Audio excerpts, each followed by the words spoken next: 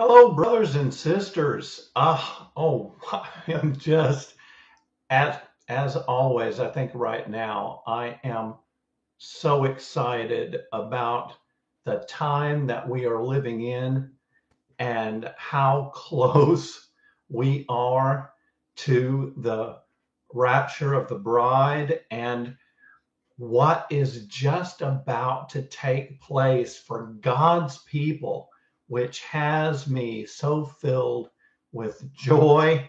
And I want to encourage all of the brothers and sisters in Christ. Um, and uh, so bear with me one second. I've got to print out one more thing for you guys. I want to tell you right now. So, what's very important is that uh, I have I've had another dream, um, and it is just really stunning to me, uh, just about how how many dreams I have been given by God. And uh, so let me pick the printer here, right here. And this is the last thing because I think it's very important that I have everything. I was so excited. I didn't even have all my things together. So I want you to uh, to be able to hear this. Well, let's talk about oh, Sister Paulette. So glad you can make it. Oh, I'm just so pleased. And uh, so, what we got here, it's been so long since my last message, right? Well, we are going to talk about some continuing things and how this dream, this God dream, and it was with Jesus, and I just had it. Uh, so I had it a few days ago. I actually, what is for me, it is actually the 7th of April right now, Good Friday, right? But I had this dream three days ago and on April 4th, again for me. And so, what I want to be able to do is, I want to tell you this dream because it fits right in the what my last three messages actually what can i say the third message back it actually had a base. And then i had to build on top of that one because there was just so much information available.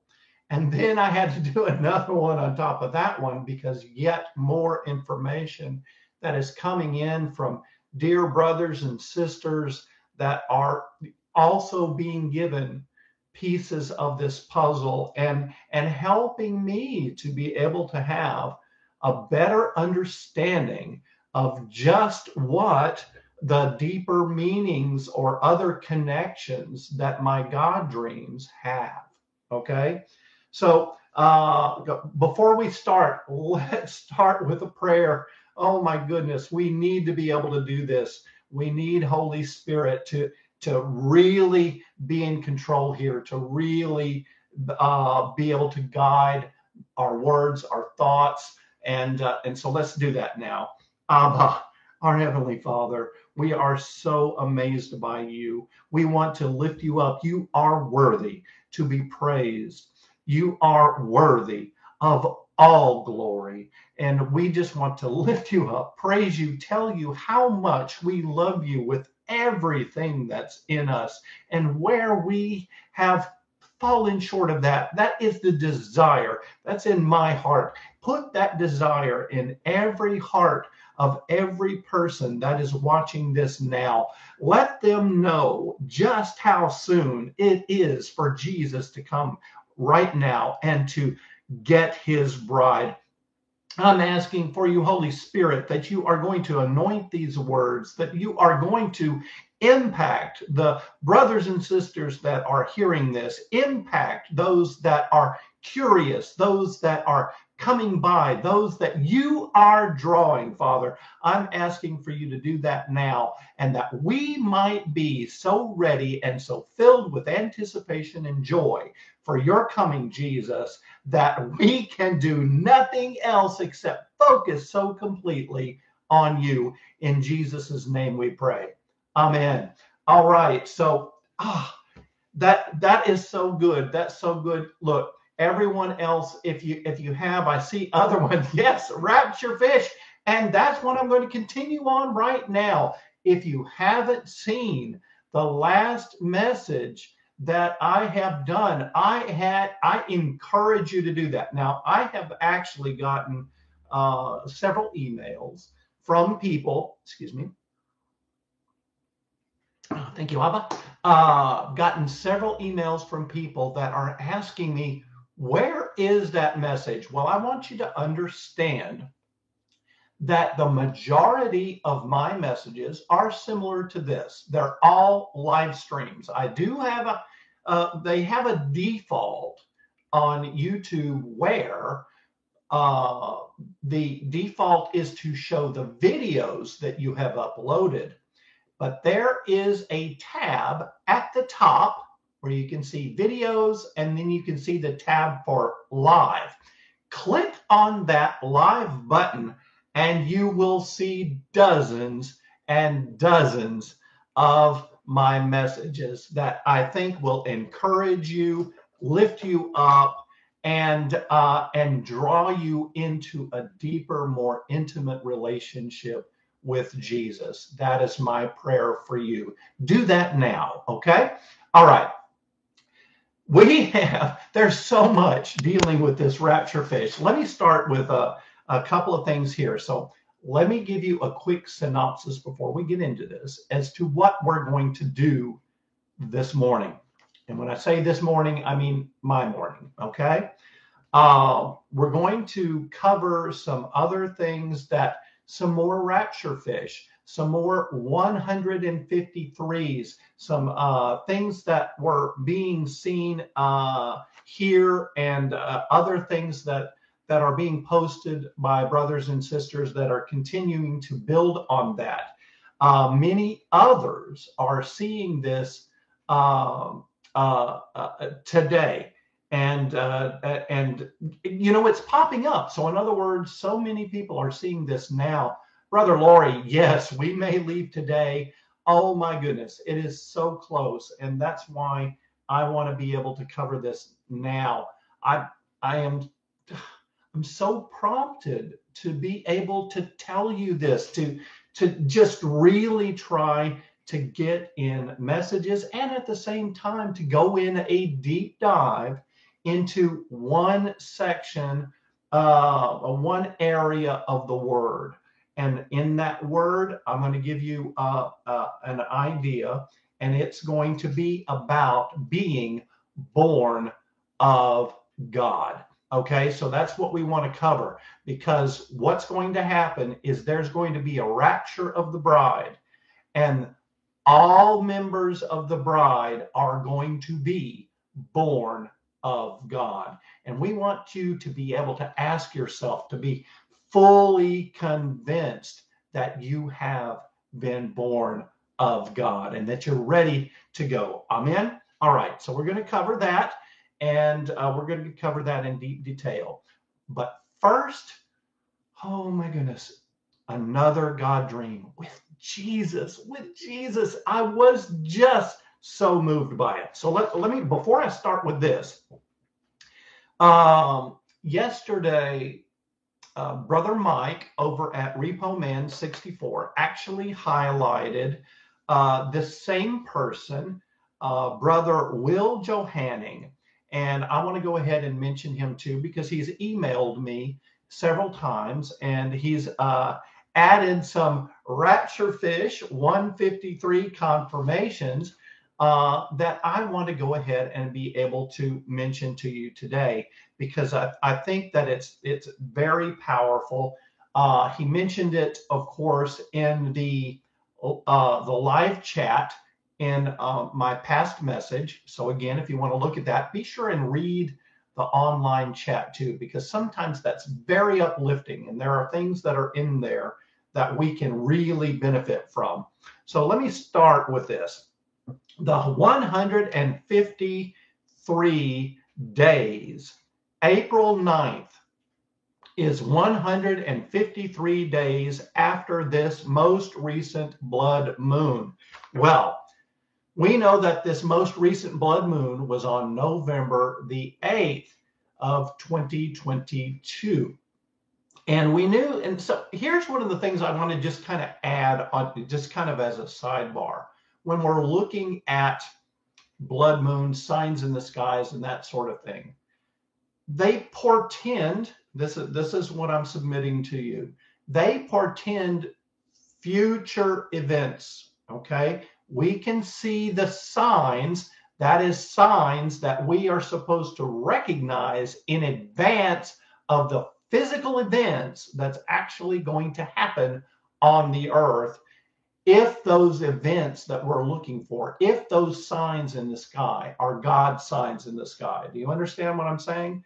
So, in other words, we i'm not saying that you know it can't happen at the moment that that occurs but what i'm trying to say is that in general i i only see that the sign is given in the sky and those signs are supposed to be able to give the people the chance to be ready to kind of prepare themselves to be looking for a particular event that those signs are pointing to. Understood? All right.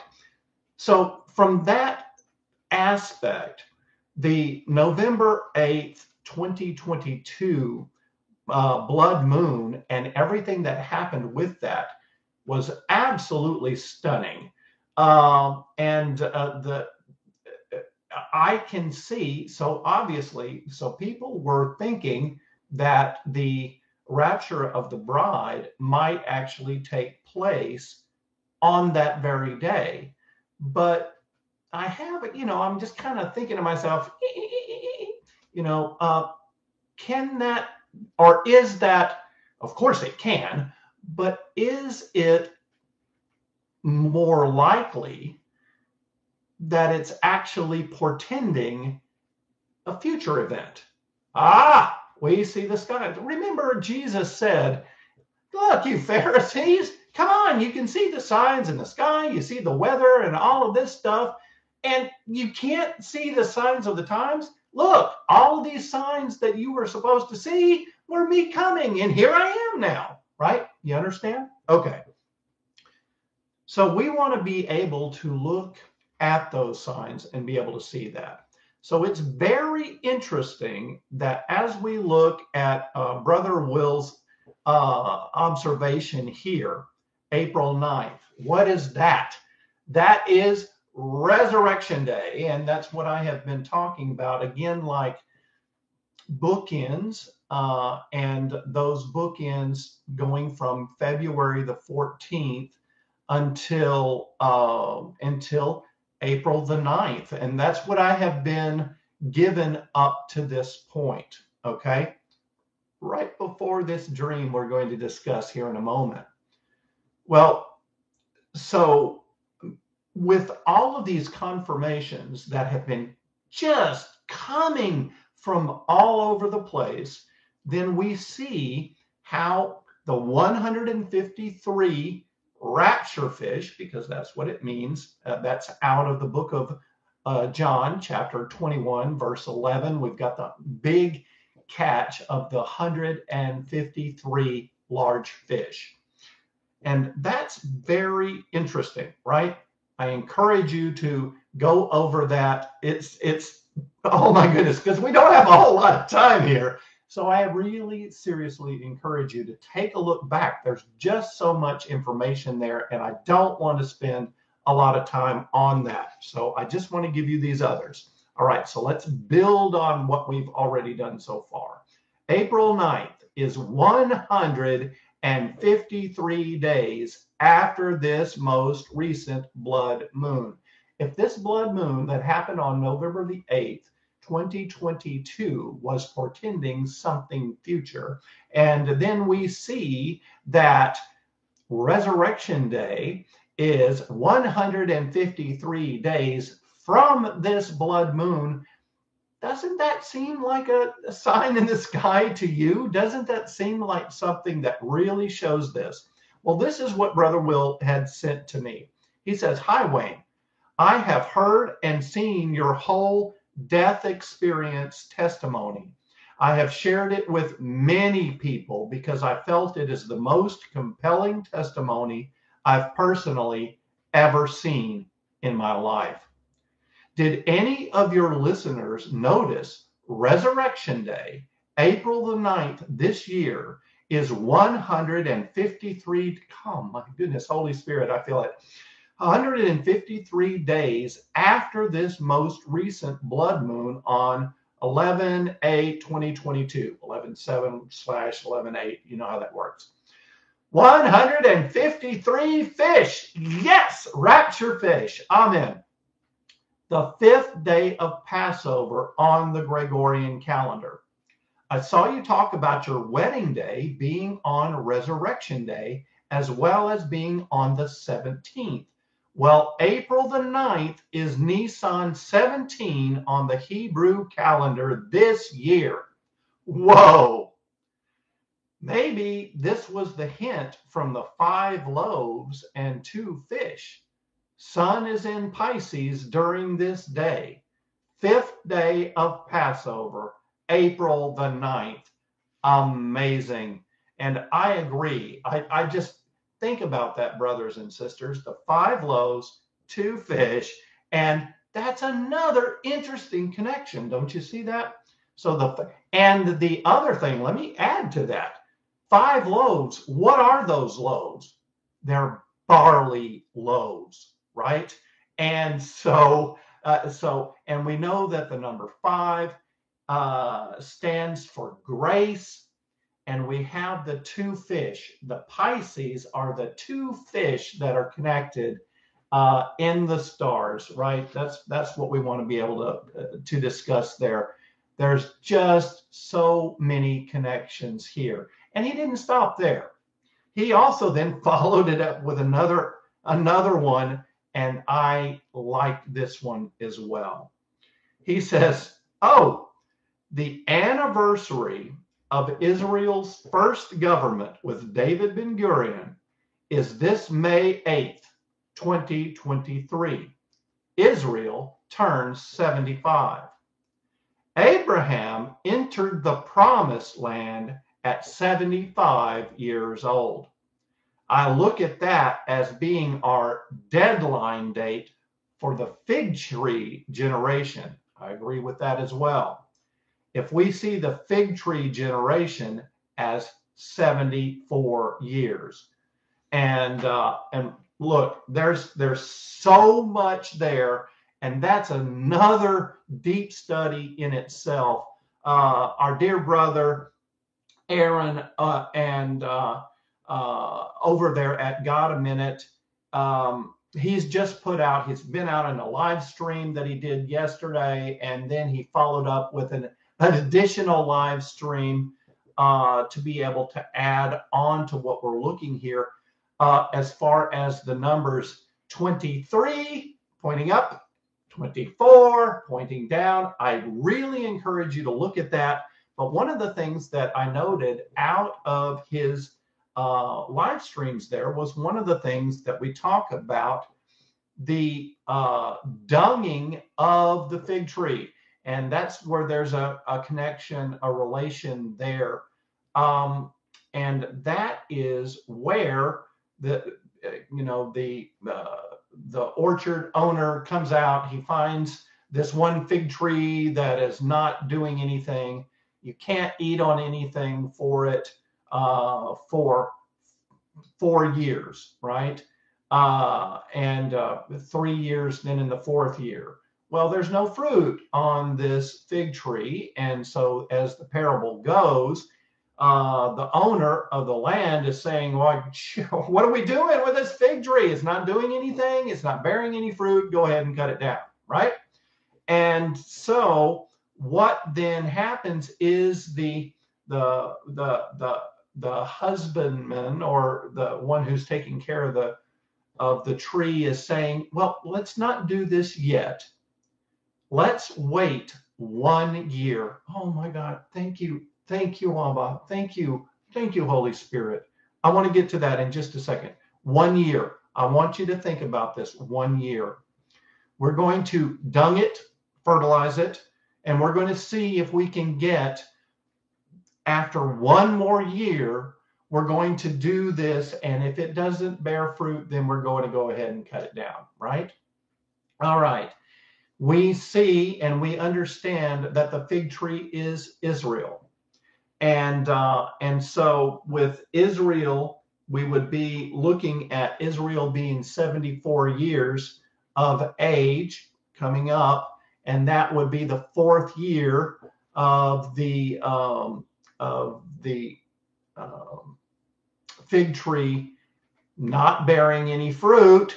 And then uh, I think that that ties in to the harvest and then the destruction to follow the the time of Jacob's trouble. And that's where Israel is going to ultimately be cut down I think. So you know that's what we're looking at here. There we could go on, but I don't I don't want to try to take up too much time here because we got so much more to go.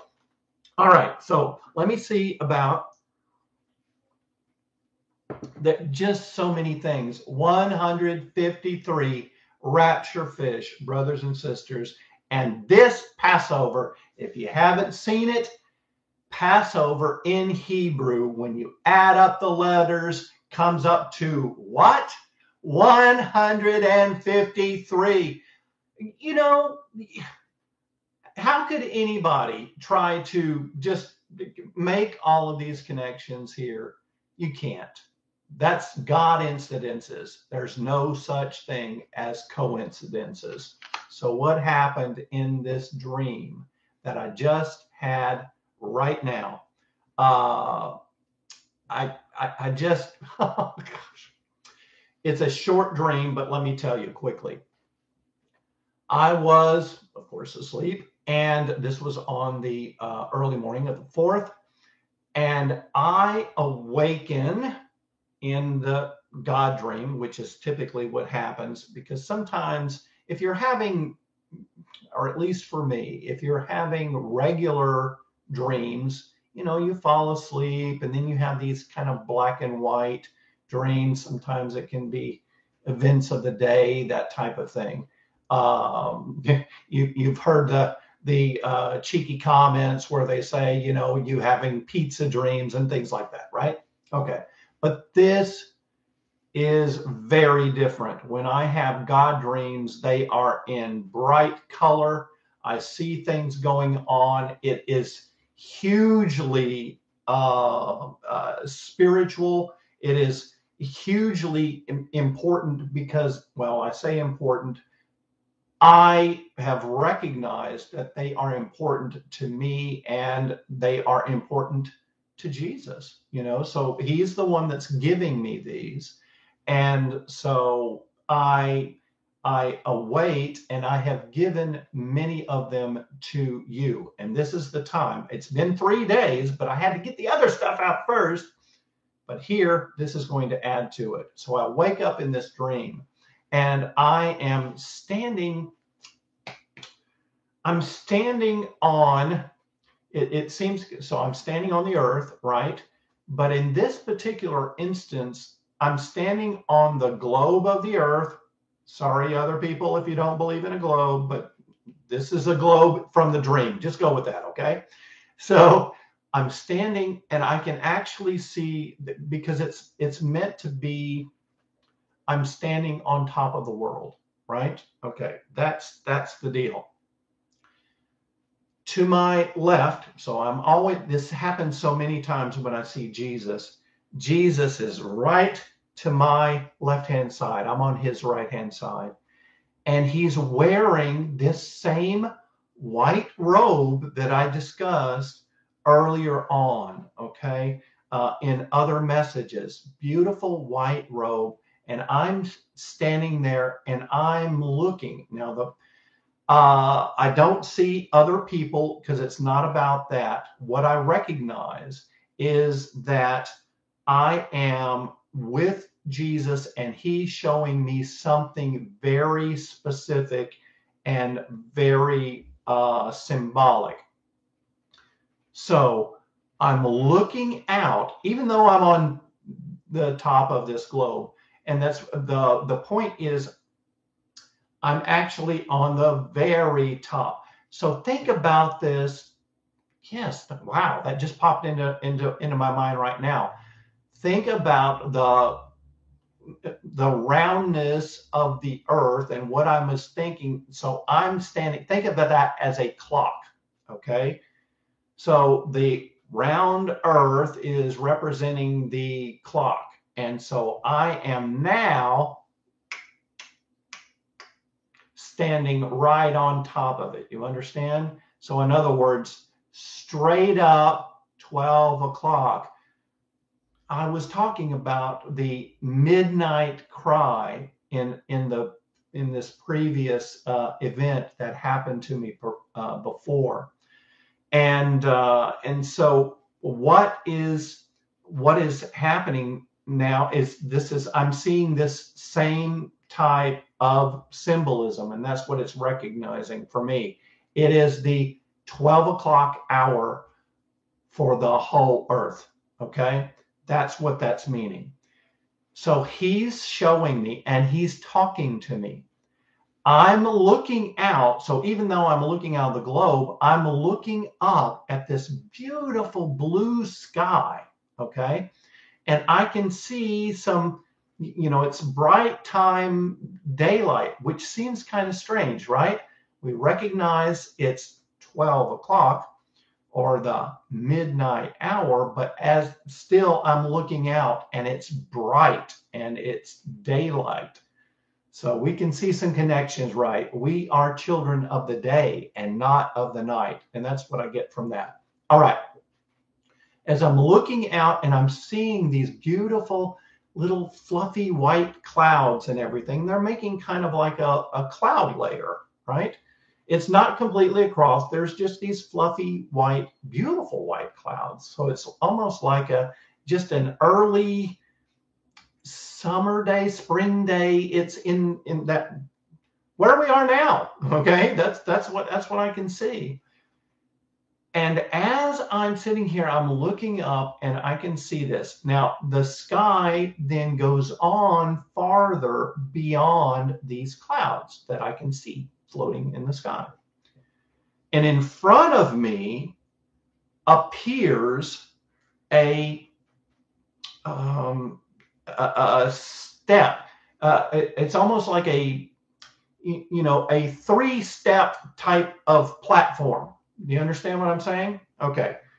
Uh, but it's steps, and they are solid stone steps, uh, chiseled in stone, right? Written in stone. Okay. So this one little set of one, two, three steps, right, appears in front of me on on right at the same ground level with me. And then another one. And it connects on the top like Lego blocks, okay? Except they're not Legos. You, you understand what I'm saying. So there's the one, then another one, two, then another one, three, four, and so on. And they go all the way up to the base of these clouds. So it's right there at the cloud layer, right? And then Jesus tells me there are 20 of them. And I said, 23. And he said, Yes, 23. And I woke up.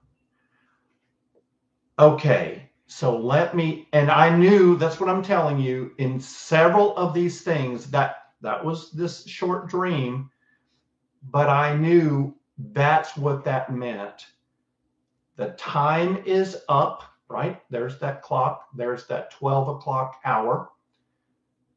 and that 23, as in 2023, that was the completion of that. And th- so each of these little ticks, right? Each of these little groups of three uh, actually represented a countdown. Uh, think about it like this way when we have the feast of Shavuot, right? The feast of weeks. We count these weeks. Now, this has nothing to do with weeks, but I'm just using this as an illustration.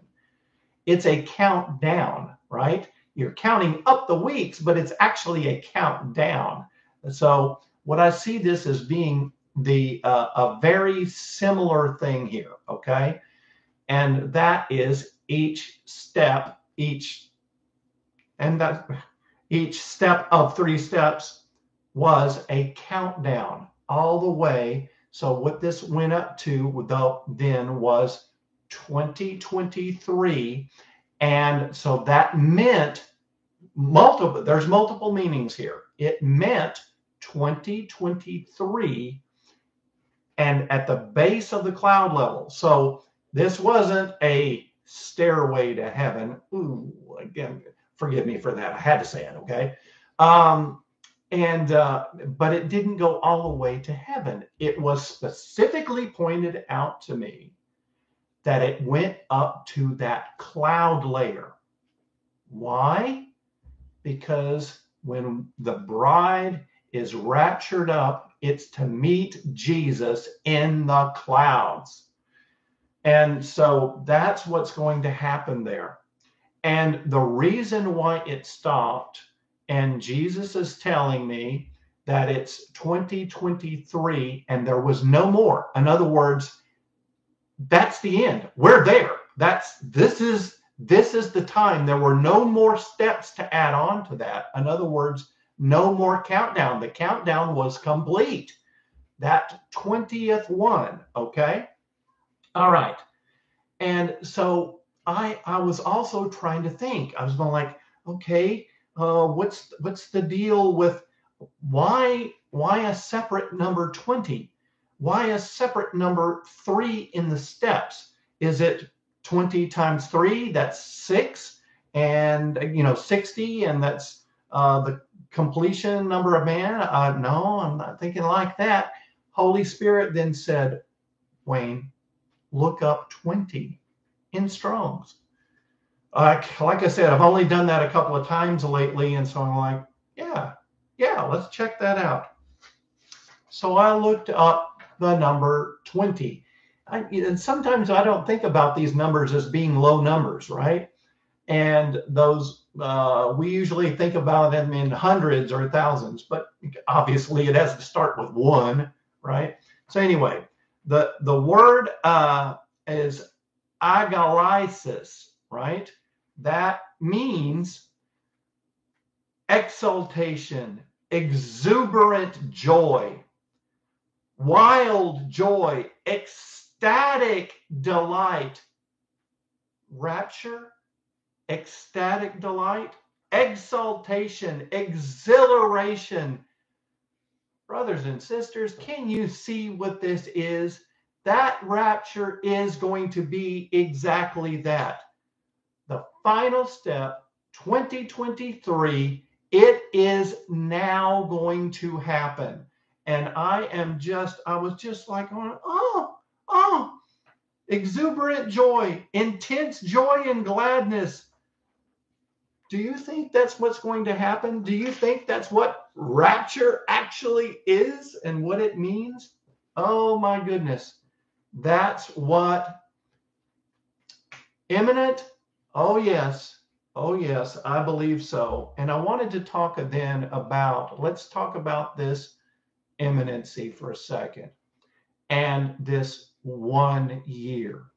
I find it very interesting how Abba has had me do this channel and and how it started uh, and uh, what all the bookends, everything that was over and over. The entirety of my channel has been one year. I've been doing this for one year. And so, and it started in the winter and it's ending at the end of winter, right? So you you can see where all of this is fitting in. I am seeing now as I look at it separately. Of course, I didn't see all of this initially, but I look at it now and I'm going, I can see the connection with the one year, this final year, to be able to show uh, Israel that fig tree. You you had one more year, and now that year is over. And I really think that that is in fact the case. Uh, we tie that in here, and there's so much more. Of course, I encourage you, like I said, if if you haven't had an opportunity to see any of my previous messages we're there. And i and like i said i've said that numerous times about being able to say that we're there. Imminency when we're talking about this from god's standpoint one year and people are saying like well no imminent should be five minutes from now right? Let's look at it if we can from God's perspective, right? One year after 2,000 years, I think that would qualify as imminent. Wake up your bride, let's get them ready. And you will also find I have never discussed anything other than barley being the first harvest, always. Wheat being the second harvest, always. And then the fruit, grapes, the crushing of the grapes happening last. Okay. I haven't wavered from that. Abba has never given me anything different from that. And I am not going to change or try to, you know, uh, conform or modify anything that I have been given because I'm, I'm wanting to be obedient, brothers and sisters. That's that's the point. And the bride is the barley. And I and I if you look around, you can see how many more people are starting to recognize that. I'm glad. I'm so glad. And uh, so let's then go ahead and talk about then for a minute about dates. Okay, let's talk about dates. Now, uh, I, I know that we have so many of those that just get all bent out of shape. No, no, no, we can't discuss dates. No man knows the day or the hour. And all, all that I've said about that is, well, it no man will know the day or the hour for the post tribulation harvest. They sure won't. And, uh, uh, but that doesn't necessarily apply to the children of the light and children of the day that are watching and looking for this. That again is so deep, and you can look at some other things. Now, I'm not looking at the specific date in this instance. The reason I'm mentioning a date is from the standpoint of calendars. Now, here uh, I want to look at calendars as it from the Jewish perspective, okay? Because it's important for us to look at, at both sides of this equation.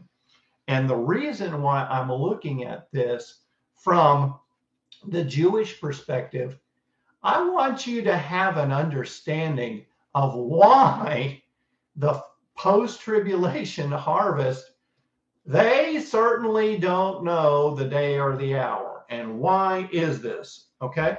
Now, what I'm going to use here to talk about this is actually from Devorah's date tree.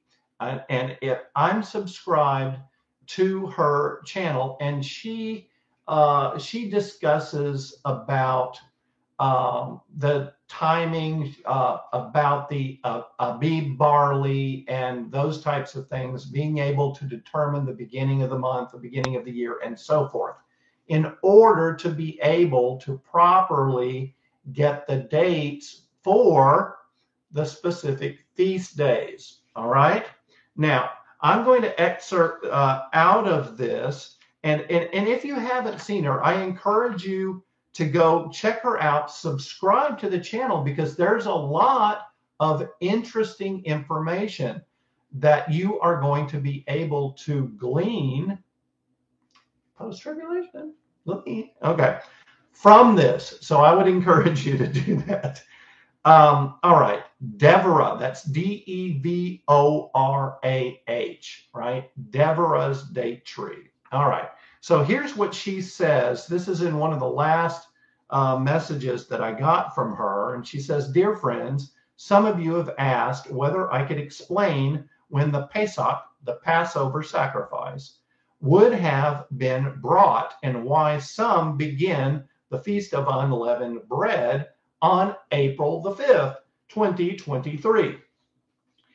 Now, let me preface this by reminding you that I'm personally planning, this is Devorah, on beginning the year with the upcoming new moon on April 20th or 21st, 2023. I want you to peg it. That should peg your ears up, right? What? and that it may be best to simply ask someone that you know who began uh, uh, Feast of Unleavened Bread on April the 5th and why they chose to do so. However, if you ask me, because it's not possible to do for whatever reason, I can try and share with you what you think is going on. Uh, and she goes on to then discuss why she's thinking that uh, uh, that it would happen on April the 5th. She discusses uh, when she's looking at the Abib barley. I want to pass all that up and go into this. She says it's important to understand that most people who observe the Feast of Unleavened Bread follow the rabbinic calendar. And the Rabbinites began the Feast of Unleavened Bread on the on April the 5th at sunset. Then there are those who say they follow the biblical calendar, but don't begin the month based on the sightings of the new moon from Israel. Some of those arguments include the following, and these are very, very interesting, brothers and sisters. One, the new moon would have been visible on March 22nd were it not for overcast. The truth is, we can't be certain the new moon would have been visible were it not for the overcast, and the moon only had an illumination of 1% and a lag time of 55 minutes. This is her uh, uh, narrative. Furthermore, I don't think we are supposed to speculate about such matters. The fact is that the new moon wasn't sighted. And I don't think we should assume that atmospheric obstructions, such as overcast, aka acts of God, are a mistake. Rather, I believe we are supposed to look for the new moon and trust that if we are meant to see it, it will be revealed. And that's why I believe the ancient Israelites would have done the same, right? That's her intention. All right, second argument. Now, so you can see what she's saying. So this other part of this one other group, they're they're saying like, okay, yeah, we would have seen it because that's what we would have seen on Stellarium, right? Okay. So, or we could have looked at the particular forecast. It should have been here. So that's why we're going to go ahead and look then. Well, what's the second argument? The second argument is we should begin the month based on the local new moon. All right, she responds My understanding of this argument is that when we traveled through the desert prior to entering the land of Israel, we presumably began the months based on the local new moon. So, why can't we continue doing so today? My response to that is that once we entered the land, we were instructed to follow the commandments of the land in the land. That's Deuteronomy chapter 6, verse 1, which would include the setting of the biblical calendar. If you try to set the biblical calendar based on signs, that's Genesis 1, verse 14, outside of Israel, you may begin the year in the wrong month and the month on the wrong day. Okay. Then there's the third argument. The month begins with conjunction. All right, her response. Then there are those who suggest that the month doesn't begin with sighting of the new moon, Genesis 1, verse 14 again, but rather with conjunction when the moon can't be seen for between one to three days. Uh, that argument just boggles my mind. What? Okay. More specifically, the moment of conjunction, which I guess they think the ancient Israelites knew how to calculate. Today, we can just Google it and we can see that conjunction in Jerusalem was on March 21st at 7:23 p.m. And so they have declared the month to have started at sunset on March 21st, 2023, and I presume began the Feast of Unleavened Bread on April the 4th at sunset. So what I'm wanting, uh, the, the point that I'm highlighting here, brothers and sisters, is that even within the Jewish community, here we have all of these particular times to start the beginning of the year. None of it is actually in line with what we have in Exodus 12 that says this is going to be the beginning of months for you, meaning Nisan. And then, as uh, Brother Mike has pointed out on a number of his messages in Repo Man 64, I encourage you to go and subscribe to him, that uh, the uh, March 16th of every year since the time of creation and on through the millennial reign is March 16th, the day day of equal parts, and that is the equilux, right? And that occurs just a few days before the equinox, which means day of equal night. Or excuse me, that's the equal night, parts of equal night, okay? And then uh, equilux as the parts of equal day. That's the that's the point there. Equal equal day parts, equal equinox, equal night parts, right? But we're children of the day, aren't we? Right? So wouldn't we be looking at the equilux like other children of the day would be looking? That's my point out to you. And here's my other point that I would like to make as it relates to this I hope now that you would be able to gain an understanding of why our enemy has been trying to change seasons and laws. That's to get everybody just like this on a different, you know, different groups, nobody agreeing on, well, something is going to start here, some over here, and no one's on the same page, you see. But one of the things that I also note is that in every instance from the Israel side, they are beginning it by looking at the moon and not looking at the sun. Now they're going to say, oh, we've got the civil calendar, we've got the biblical calendar. But once again, I have to go back to we are, we as Christians, those that are saved by the blood of Christ. Those people, those are the sons of the day and not of the night. I, I, would encourage you to look at that from that standpoint. Consider that. So, would Israel right now be sons of night? Hmm? I think a very interesting thing, right? All right. And we're not quite finished with this yet. Okay?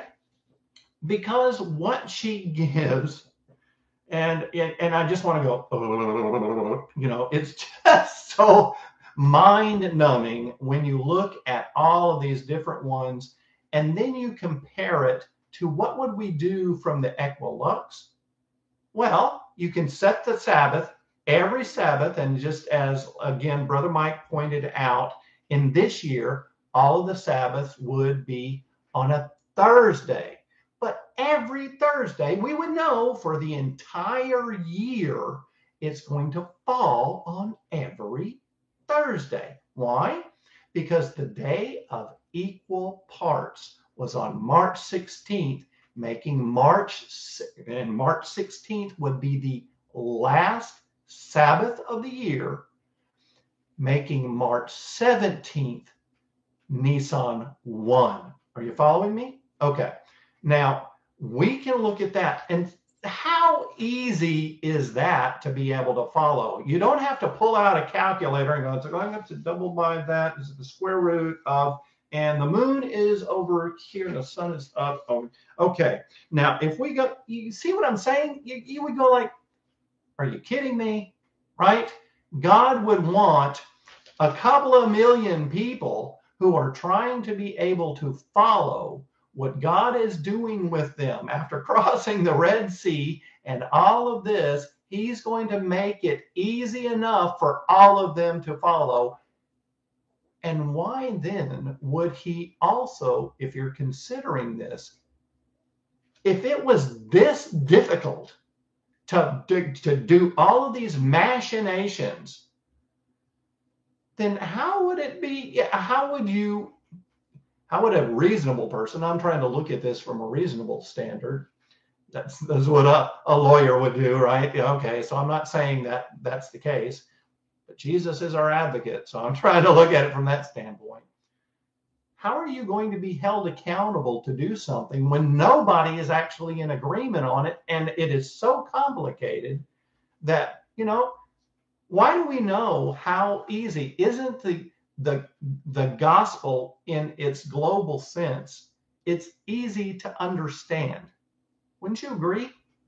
It, it, it doesn't sometimes we don't know why god chose to do it the way he did but it is easy to understand.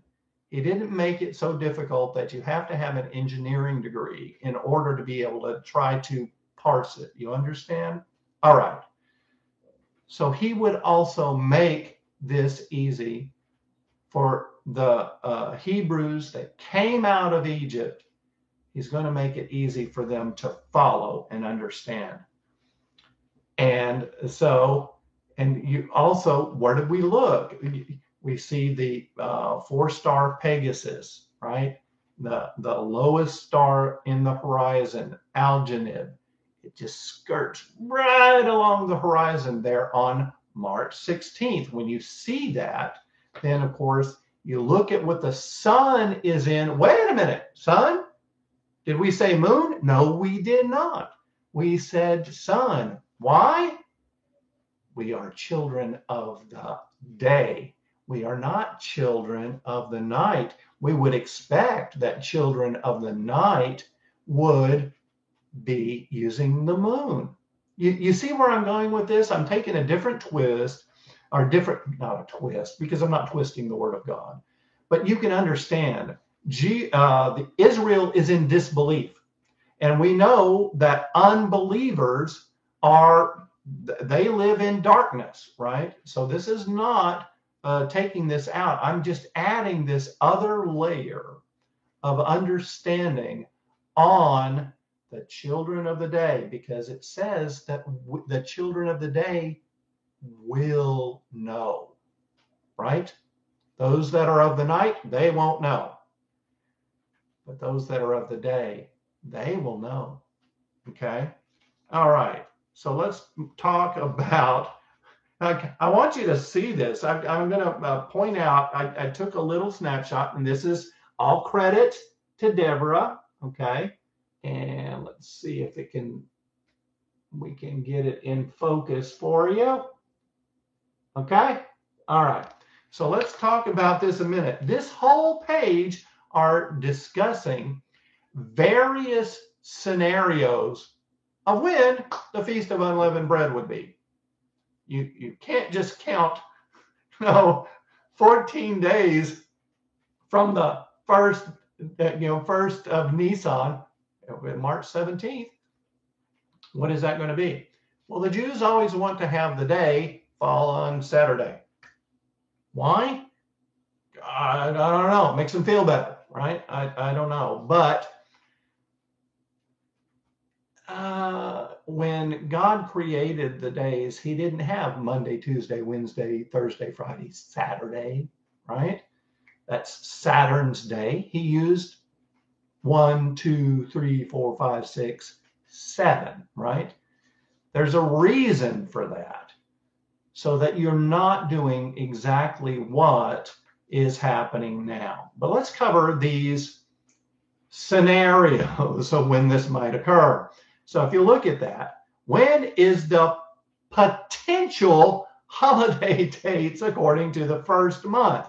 Well, if you are of the group that has their new moon observation on March 22nd, 23rd, then that would be the first day of uh, unleavened bread. And then the, uh, okay, let me just, uh, let me just cover these because I don't want to cover all these in deep detail. You, you can go and see this when if you go to her site. But she points out so we've got what? Four scenarios that are listed. Okay, new moon observation, March 22nd, 23rd. Guess what? So that would be uh, the uh, uh, the first day of Hag Hamatzot, according to that. But the new moon wasn't sighted on March 22nd, 2023. So that brings up a second scenario. If the new moon is sighted on the 23rd of March, then uh, we've got sunset April the 6th until sunset April the 7th. Then Passover sacrifice would be brought at sunset on April the 6th. Uh, counting of the, uh, see, uh, uh the uh, uh, Hanafat HaOmer, that's the wave sheaf offering, I guess. Uh, that's on April the 9th. And it goes sunset April the 12th for the second, uh, seventh day of uh, unleavened bread would be sunset April the 12th to sunset April the 13th. Well, let's cover these other ones. What about the new moon being sighted uh, if you have to add another month because the barley wasn't Abib? So they're including these observations the new moon observation April 20th to 21st. Wow, okay. Or what if we're considering second Passover, right? So we have the second Passover that happens the month after the first Passover. So we can see there's also uh, a harvest potential there, a rapture of the bride potential. Uh, so then they've got their days there. Scenario three well, what if the new moon is sighted on the 20th of April? Then they cover those. But if the new moon is sighted on the 21st of April, then you've got the Passover sacrifice would be on sunset May 5th. You follow me. It, it just gets so complicated, so convoluted. How could anybody do that? And is it any surprise that the enemy would have been the one behind this? And it's almost like I get this idea that you've got you know this big group of people and and and they've been having this big discussion you know here's hundreds of people and you've got them up there and they're saying on the big uh, big screen and they're saying you know we could have this particular scenario here and uh, and this is everything there. But if in this circumstance we can have scenario two you see anything and they go through all these scenarios and then you see this tiny little hand way at the back raises up. And and it's a it's a it's a a, a child. And this child holds up his hand and the person up there on the platform says well i think we have a question there at the back. And uh, and uh, and he says, Yes. And so this little child stands up and says, Can't we just start the day like we did every day for 2,000 years on March 17th? Then you hear all this murmuring and everything in the crowd. You know, you see what I'm saying? Sometimes it's that simple, folks. Uh, and we have to receive the kingdom as little children. And you're not going to ha- expect a little child to understand and be able to do calculus in general. I mean, we, we can have a prodigy, uh, but you understand what I'm saying here. He's making it simple so that we can follow the uh, commandment to honor the Sabbath day and make it holy. Well, doesn't that make it holy when we look at it always happening on the same day every year at the same time with the same sign? That's what we would want to do. All right.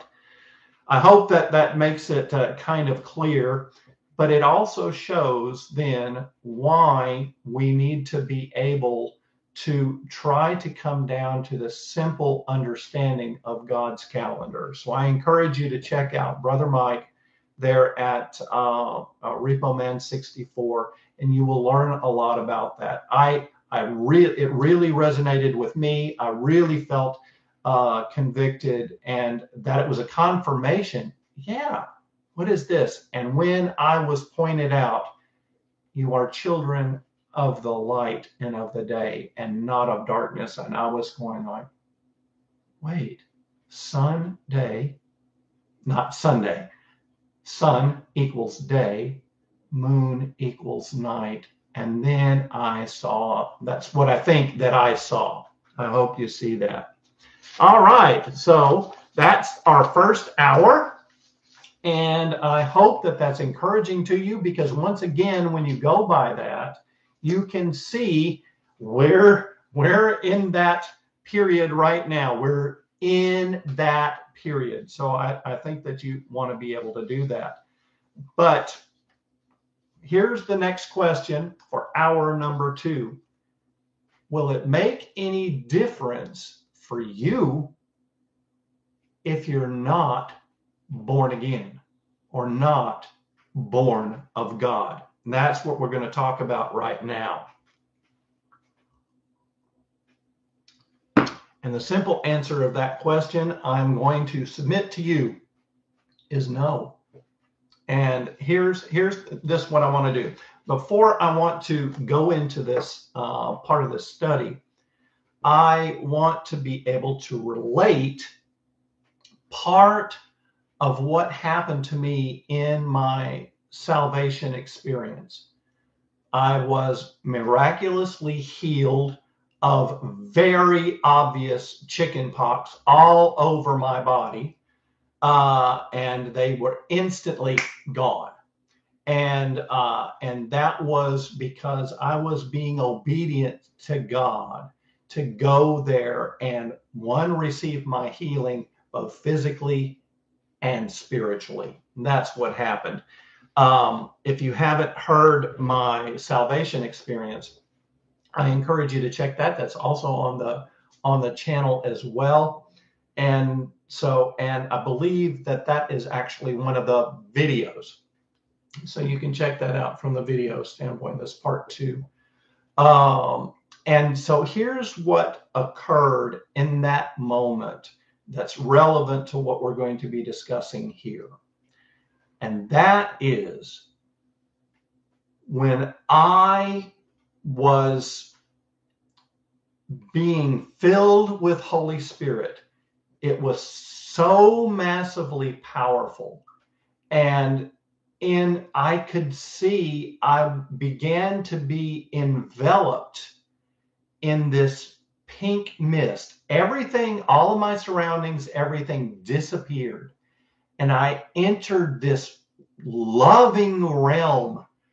Like I say, it was all I can say. It was like a pink mist, and I was being just completely poured over in love, uh, God's love, Okay. And this was seven days right before my first afterlife experience. As I'm in here, and and it's interesting, I was in this uh, apparently from the outsider's view. I was in this ecstasy. I was speaking in tongues nonstop. I didn't know anything about it. I thought I was just talking with God. I was, uh, and uh, uh, and it was uh, Abba, Father, and I say Abba because this is what happened.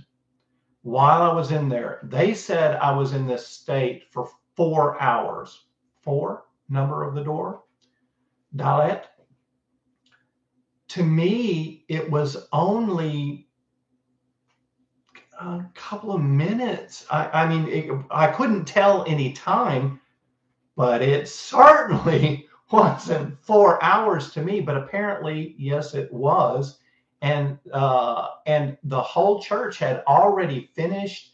Uh, there had been 32 people that had been baptized in the Holy Spirit and received their actual baptism right there, including me at the time. And I could, it was just so surreal. But as I was in here, I could hear the voice of God as Father.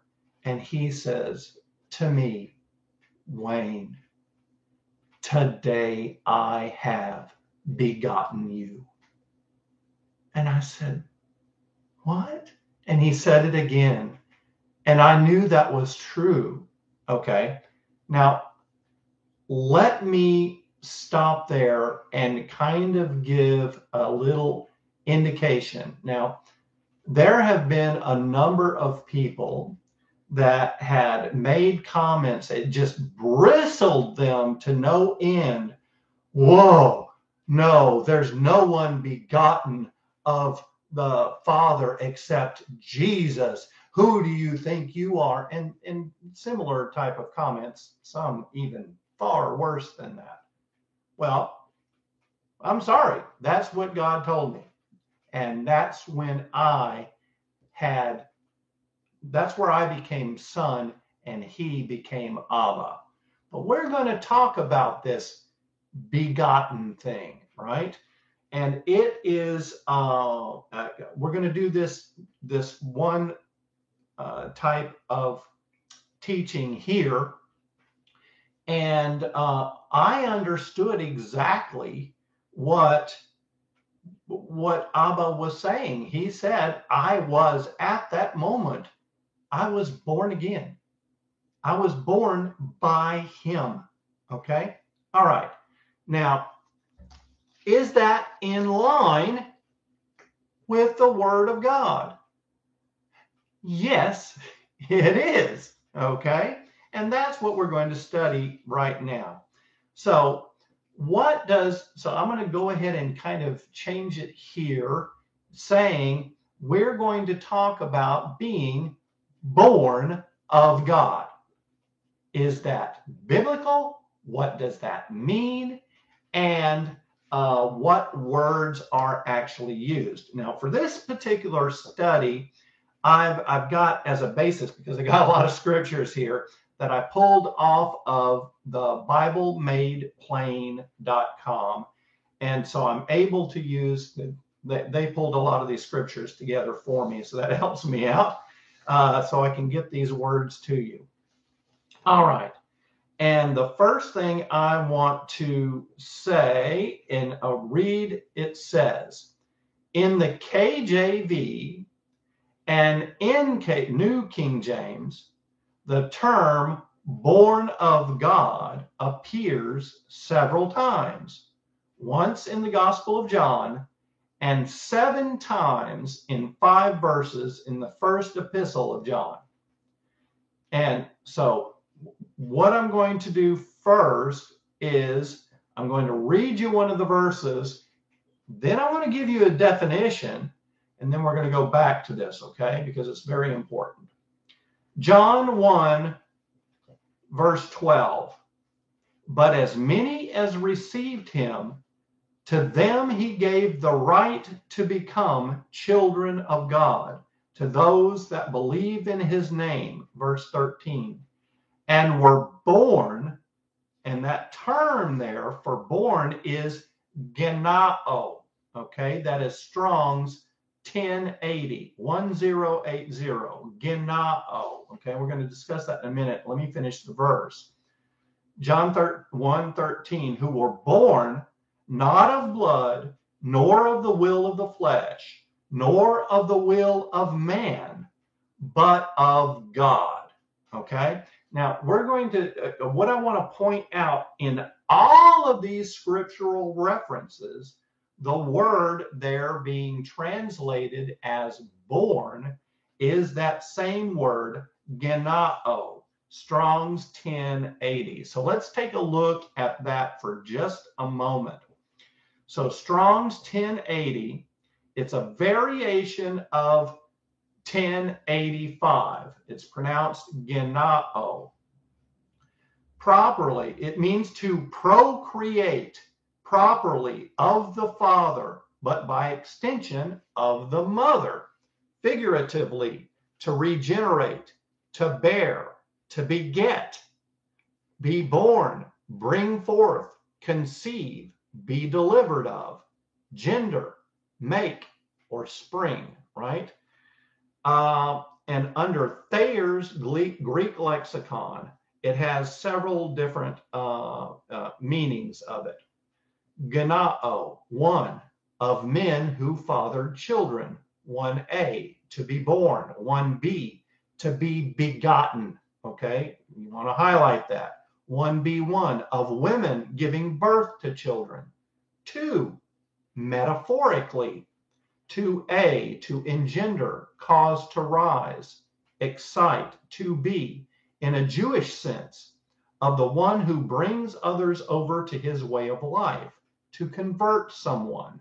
To C, of God making Christ his son. 2d of God making men his sons through faith in Christ's work.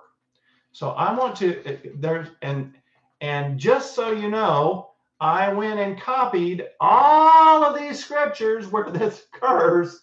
Uh, I'm not expecting you to uh, to go to check all of these. I'm just saying, and there's two pages of it. There's a lot of them. So, and they're all using this same word, okay? And I'm highlighting the word begotten is the word proper. It's a proper translation of this word genao, where they're just using the word born in the KJV. Okay. But let's continue. Let's go back here now and let's go back and read these other instances. And uh, and so First John chapter 3 verse 9 Whoever has been born, genao, of God, does not sin, for his seed remains in him, and he cannot sin because he has been born, genao, of God. Okay? First John 4, verse 7. Beloved, let us love one another, for love is of God, and everyone who loves is born, genao, of God and knows God.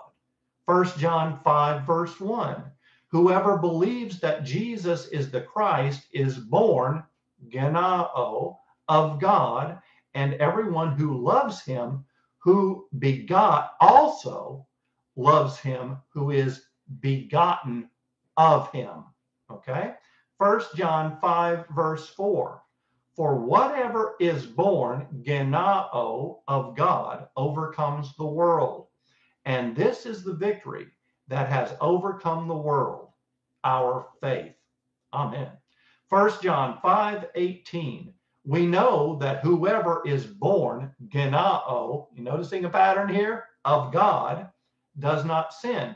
But he who has been born, genao, of God, keeps himself and the wicked one does not touch them.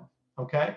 Now, what I want to go back and do is since we've actually seen where begotten is used, and that is also a proper translation of this uh, word that's being translated born in the KJV. Let's go big and change that word born to begotten, shall we? All right.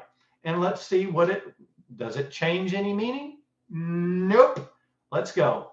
John 1, verse 12 and 13. But as many as received him, to them he gave the right to become children of God, to those who believe in his name, who were begotten not of blood, nor of the will of the flesh, nor of the will of man, but of God, begotten of God. 1 John 3 9. Whoever has been begotten of God does not sin, for his seed remains in him, and he cannot sin because he has been begotten of God. 1 John 4, verse 7. Beloved, let us love one another, for love is of God, and everyone who loves is begotten of God and knows God. 1 John 5, verse 1.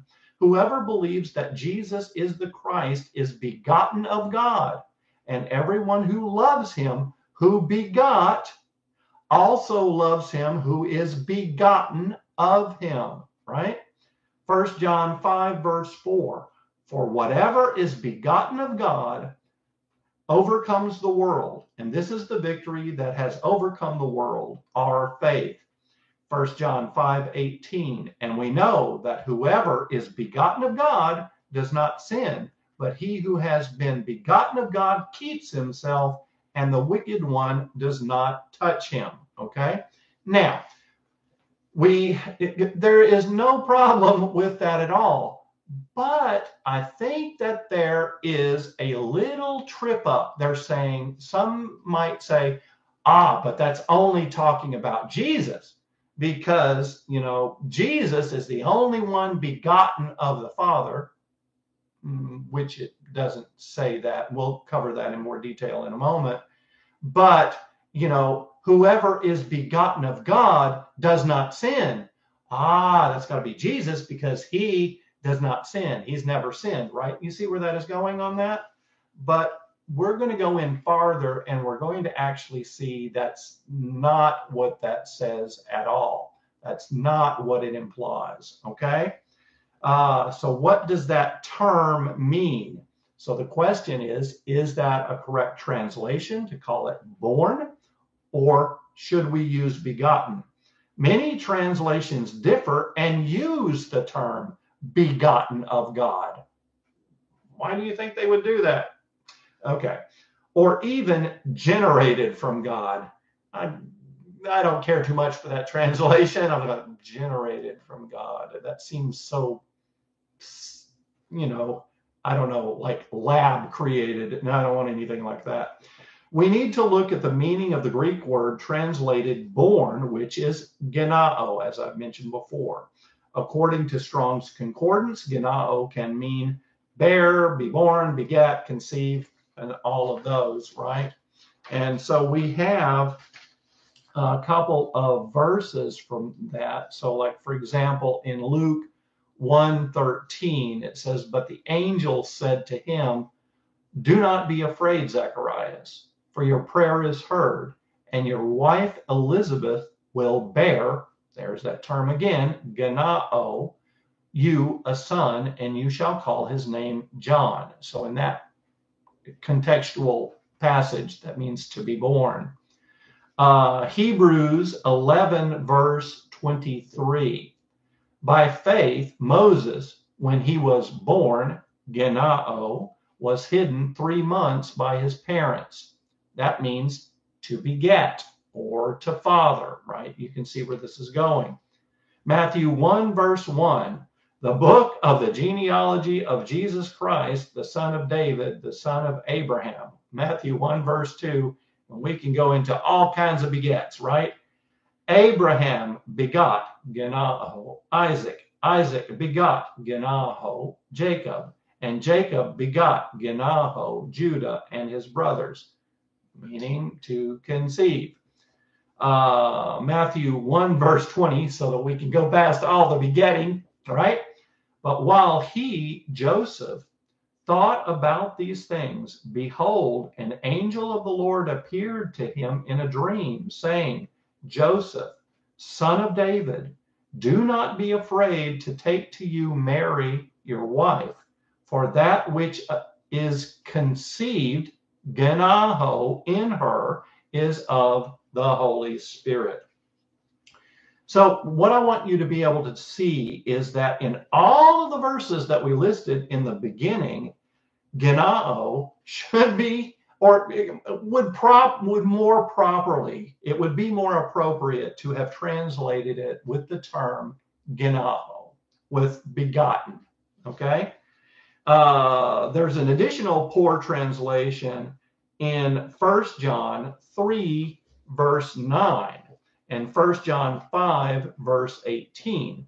These two verses have whoever has been or is genaho, begotten of God, does not sin.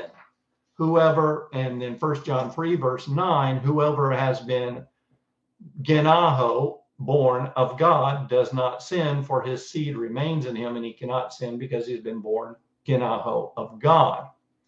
Uh, in 1 John 5 18, we know that whoever is born genaho of God does not sin, but he who has been born genaho of God, excuse me, keeps himself, and the wicked one does not touch him.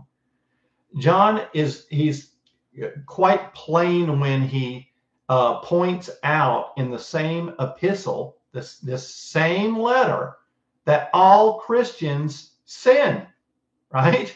And need forgiveness of sin. So, what do we see? First John 1, verse 8 says, If we say that we have no sin, we deceive ourselves, and the truth is not in us. Verse 9, If we confess our sins, he is faithful and just to forgive us our sins and to cleanse us from all unrighteousness.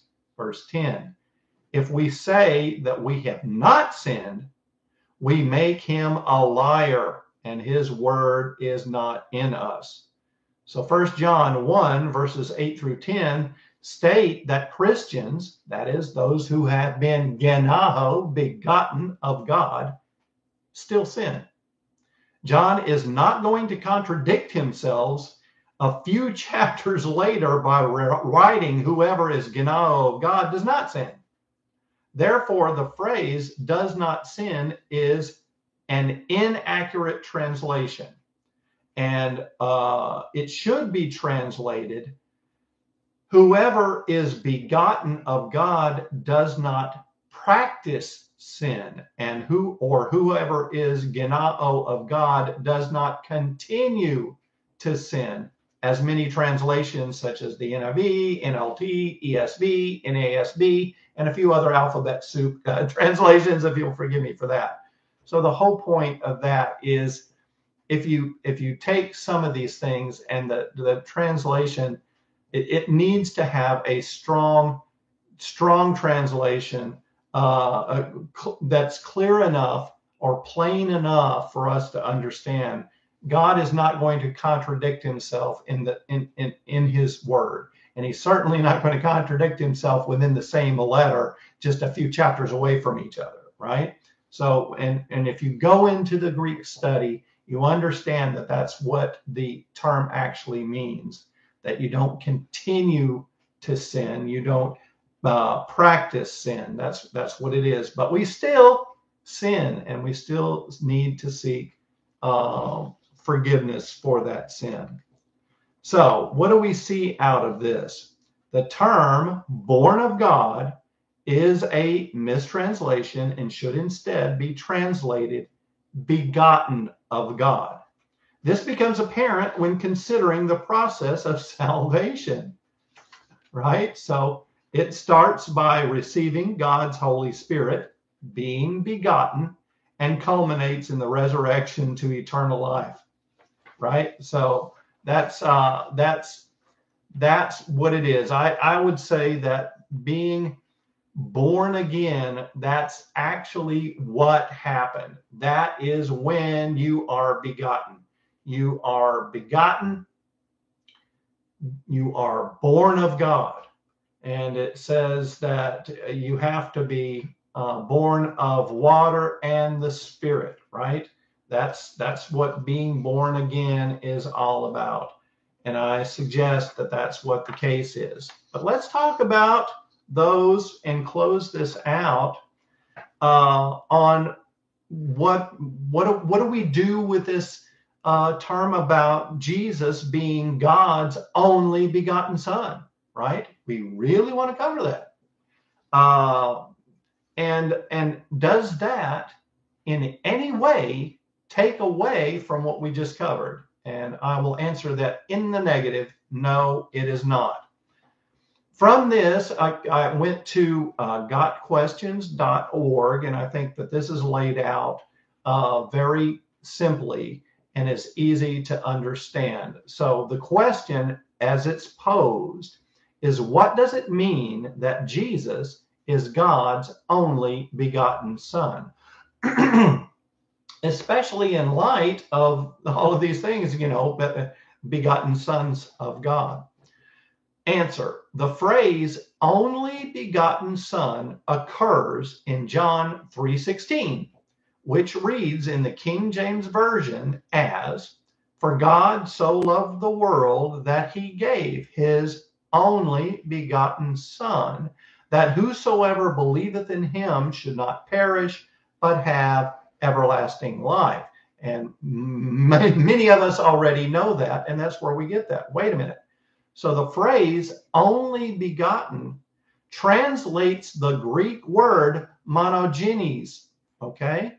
The word is variously translated into English as only, one and only, and only begotten. It is this last phrase, only begotten, that's used in the KJV, NASB, and the New King James that causes problems. Now, false teachers have latched onto this phrase to try to prove their false teaching that Jesus Christ isn't God. And I can tell you firsthand, brothers and sisters, Jesus Christ is God. I met him. I was filled with him. I am filled with him. I know for a fact you cannot deny it. It is unquestionable when you are face to face with him that he is God. Okay? So, but let's continue on. I'm not asking you to believe me just because of my experience. I'm just asking, I'm just telling you that is my testimony and that's what I'm giving you. But here we're going to actually see it shown by the word of God. Uh, so uh, it says that false teachers have latched onto this phrase to try to prove their false teaching that Jesus Christ isn't God, i.e., that Jesus isn't equal in essence to God as the second person of the Trinity. They see the word begotten and they say that Jesus is a created being because only someone who has a beginning in time can be, quote, begotten, unquote. What this fails to note is that begotten is an English translation of a Greek word. As such, we have to look at the original meaning of the Greek word, not transfer English meanings into the text. So, what does monogenes mean? According to the Greek English lexicon of the New Testament and other early Christian literature, monogenes has two primary definitions. The first definition is, excuse me, pertaining to being the only one of its kind within a specific relationship. This is its meaning in Hebrews 11 17, when the writer refers to Isaac as Abraham's only begotten son. Abraham had more than one son, but Isaac was the only son that he had by Sarah and the only son of the covenant. Therefore, it is the uniqueness of Isaac among the other sons that allows for the use of monogenes in that context. The second definition is pertaining to being the only one of its kind or class, unique in kind. This is the meaning that's implied in John 3 16. You can also look at John 1 14, in 18, chapter 3, verse 18, 1 John 4, verse 9. For it says, John was primarily concerned with demonstrating that Jesus is the Son of God. And that is the focus in, in the entire book of John is the divinity of Jesus. And he uses monogenes to highlight Jesus as uniquely God's Son, sharing the same divine nature as God, as opposed to believers who are God's sons and daughters. Uh, and now they say by adoption here. I take issue with that. I can actually do another study, which, and they just take me on this. This will be a little tickler. We are not adopted as sons, we are born by God. That is how you become in the family, being born of God. The uh, whole issue about adoption, like I said, I've got a whole other study on that, but just, and we're not going to cover it now but it's the spirit of adoption actually should have been translated inheritance.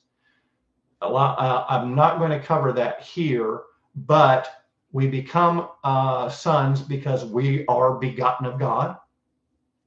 And uh, and so that's the thing. But Jesus is uniquely different as God's son because he shares God's essence. He he is equal with God, uh, Abba God, Father. So anyway, um, no, no, no, no, no, no, no, Let me get back here. Uh, Jesus is God's one and only Son. Okay, the bottom line is that terms such as Father and Son, and I think this is kind of the important point descriptive of God and Jesus are human terms that help us to understand the relationship between the different persons of the Trinity. If you can understand the relationship between a human father and a human son, then you can understand in part the relationship between the first and second persons of the Trinity. The analogy breaks down if you try to take it too far and teach, as some pseudo Christian cults, such as uh, Jehovah's Witnesses, that Jesus is or was literally begotten, as in produced or created by God the Father. And that happens not just in this, there's uh, the same type of breakdown in the analogy when you say that, oh, okay, Jesus is coming back. He's he's marrying one female woman personage, and uh, it's because you are trying to take all of this and put it into strictly physical human terms. But that is not what the body of Christ is. That's not what was revealed. That's not what the bride of Christ is and uh, and and it does not uh, comport with any of those things. If you see that you are taking symbols uh, or principles that are spiritual principles, such as the spiritual principles that are presented in the parables, as an example, you are going to get them wrong, right? If you are then wanting to put everything in these physical terms when you're actually when jesus is actually trying to give us a spiritual principle it's not going to work okay? And that's what i'm wanting to tell you here. So ultimately what do we have? You become a son or daughter uh, which is still a son and that's another issue in itself. Uh, when you are begotten of God. There is no uh, there is no problem with that, none at all. Jesus is the only begotten monogenes, right? The only one of his kind with a specific relationship that is not shared by his other begotten sons and daughters, such as you and I. That's what I'm saying. Do you see it's it that is what it is. That is what it is. Um, all right, let's go ahead and in that here, I want to go ahead and just say, look, if you if you don't know this father and you don't know more importantly this son, then you are not going to be able to take part in any of this, in any of this. And your part has already been uh, set out for you, and it's not good. It is for an eternal separation from God. And you don't want that. God loves you, and He's He's already paid this gift as Jesus on the cross paid a debt sin, a sin debt, excuse me, that you couldn't pay. But he did it. He understood you couldn't pay it. And he did it for you because he loves you so much. I've experienced that love. I saw him on the cross. I know this to be true. And he did it just for you, as if you were the only one in all of creation. And he would have done it just for you and me and everyone else listening to this message. You want to know this Jesus. And if you don't know him right now, these, this is what you should do. First, you have to believe. You can't believe that he's just some physical man that died on this cross. That not that physical man is not who he was. He was eternal God with the Father throughout you know, days innumerable, eternity past.